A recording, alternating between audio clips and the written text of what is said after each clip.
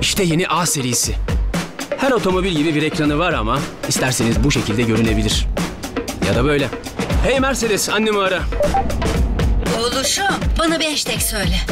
Gerektiğinde frenleyebilir. Ne olur ne olmaz. Nereye park edeceğim ya? Derseniz size bir park yeri bulabilir. Yakından bakalım. Şu hatlara bakın. Size benzeyen bir otomobil.